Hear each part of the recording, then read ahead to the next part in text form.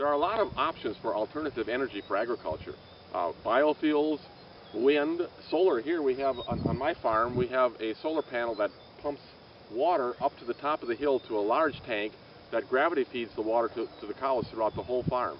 And so we also have other applications on my farm. We have solar panels that make hot water for our dairy processing and our dairy milking facility. We also have a geothermal for heating our house. We also have some geothermal applications for uh, keeping water from freezing uh, for the cows during the winter. So the water tanks they drink out of are heated by the ground source. So we have a lot of opportunities. But one of them that I would like to talk about is wind. Uh, we should use the wind that blows over the farm to power the farm and we should structure it so that the profits are retained by farmers. So what we could do is put mid-sized wind turbines on farms all across Iowa, and, and they should be farmer-owned. And the Europeans have a really great model for how that can be done. They've used it with solar applications. But here we could use what are called feed-in tariff policies to get our, our mid-sized wind turbines on farms all over Iowa.